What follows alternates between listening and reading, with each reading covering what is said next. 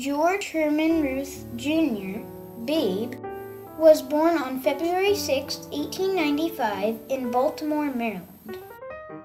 He lived in Pigtown, Baltimore. He was the son of George Herman Ruth and Kate Ruth. He was one of eight children, but six of his siblings died. Only George and his sister Mamie survived. George Jr. was not a very well behaved child. He talked back to adults, stole, didn't obey his parents, and liked to party. He became too much for his parents to handle, so at the age of seven, they sent him to St. Mary's School in Baltimore. George Jr. didn't like St. Mary's because they were very strict and he didn't like discipline. There was one person, however, who became a positive role model to George. His name was Brother Matthias, one of the monks. He taught George many things. One of those things was baseball. George started to love baseball and was very good at it. He became so good at it that Jack Dunn, owner of the Baltimore Orioles, came to watch him play. Dunn was impressed and offered George Jr. a contract to sign with the Orioles. George was only 19, so Dunn had to become George's legal guardian. After George went with Dunn, he followed him around everywhere, so his teammates called him Jack's newest Babe. The name stuck, and he became known as Babe Ruth. Babe played well for the Orioles, which was only a minor league team at the time. Later, he was sold to the Boston Red Sox and was playing with the majors. After his season ended with the Red Sox, Babe married Helen Woodford on October 17, 1914. On May 6, 1915, Babe had a huge moment. During a game against the New York Yankees, Babe hit his first home run in the majors. It was a big deal and people noticed.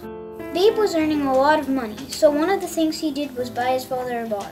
Two years later, Big George died in a street fight. His sister, Mamie, was the only family member who lived to see Babe become famous.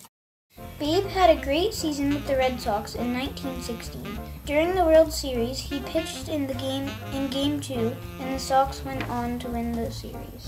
In 1918, Babe wanted to concentrate on hitting instead of pitching. His coach said no. One day, while messing around, Babe punched his fist into a wall. His finger was hurt and badly swollen, but he still pitched well and helped the Red Sox go to the championship.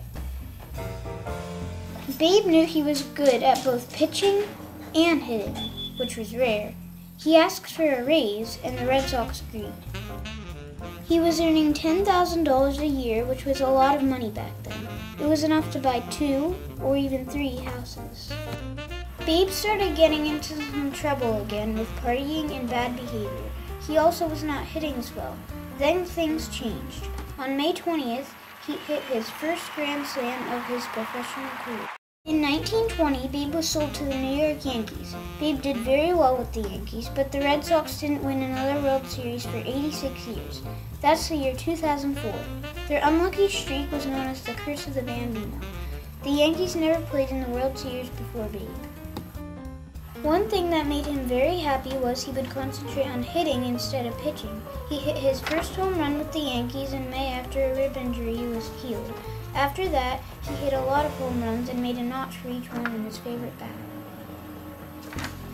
People loved Babe Ruth. They came in huge crowds to watch him play. They loved his energy. There was no television at that time, so they listened to the radio. Newspaper reporters had fun giving him nicknames such as the Sultan of Swat, the King of Crash, the Prince of Pounders, the Colossus of Clout, Babelmania, and the Big Baby.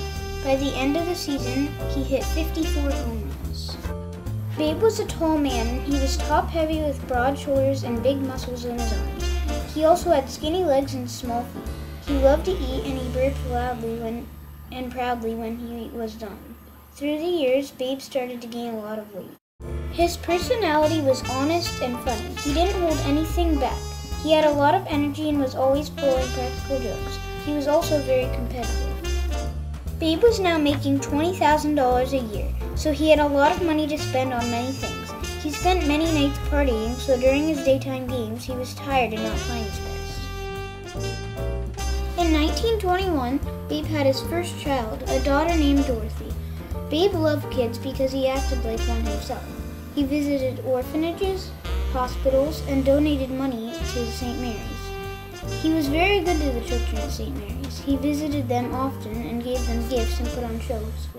In 1921, he beat his home run record with 159 home runs. Babe was known as the home run king. The Yankees went to the World Series against the New York Giants.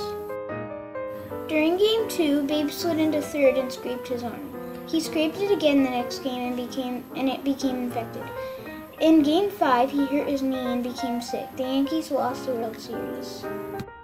Babe was suspended for six weeks in 1922 because he illegally played games with teams that weren't in the majors. During his suspension, he overate and drank. By the time he rejoined the team, he was fat and cranky. He got into fights with umpires and was suspended for five games. Fans still loved him, though. Babe hit 35 home runs that year, even with all his time being suspended. During the World Series against the Giants, the Yankees lost again. Babe was ashamed of himself and how he'd been behaving. During his off season, he bought a beautiful farm for Helen. He stopped eating so much and exercised. He was ready to go back to the Yankees in their new stadium.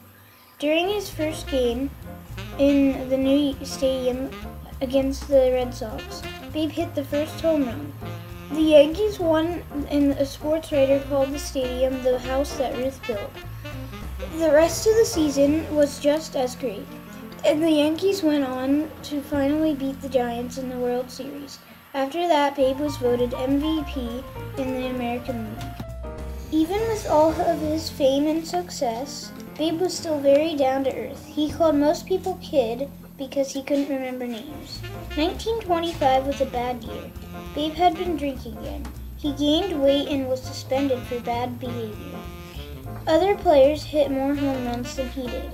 He was in the hospital for six weeks, and he and Helen separated. After the bad year, he again started to make changes. In 1926, during the World Series, he made a promise to a boy in the hospital he would hit a home run for him. He hit three. In 1927, he hit 60 home runs in the season. In 1929, Helen passed away, and later Babe fell in love with and married a woman named Claire Hodgson. Claire was firm and tried to get Babe to follow the rules. They moved to a beautiful New York apartment with Babe's daughter, Dorothy, and Claire's daughter, Julie. In 1930, Babe's salary was $80,000 a year.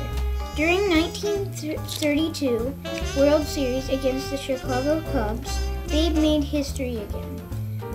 Oh, after allowing two strikes to go through, he pointed his finger to center field. Many people say he was calling the shot.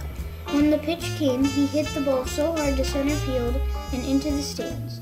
Another home run. It was his last World Series. He continued to play baseball uh, through 1935. He was then playing for the Boston Braves. He hit his last home run on May 25th against the Pittsburgh Pirates. It was the first home run to ever fly outside of the park, and it was home run number 714. He retired after that. In 1948, Babe celebrated the 25th anniversary of Yankee Stadium. He was there even though he had throat cancer. He spent his last days in the hospital while receiving a lot of fan mail. President Truman called to wish him well, and the mayor of New York came to visit him. Babe Ruth died on August 16, 1948, at age 53. His funeral was at Yankee Stadium, and the flag at the stadium flew half-mast. The Yankees retired his number, and no other player will ever wear the number three. Babe held 54 major league records. He hit 714 home runs. His record was broken in 1974 by Hank Aaron of the Atlanta Braves. Today, Babe still ranks th- number three for the most home, run- home runs. Babe was a legend. There will never be another Sultan of SWAT, King of Crash, Prince of Pounders, Colossus of Clout, Babe-O-Mania, Big Bam, or Home Run King. There will never be another Babe Ruth.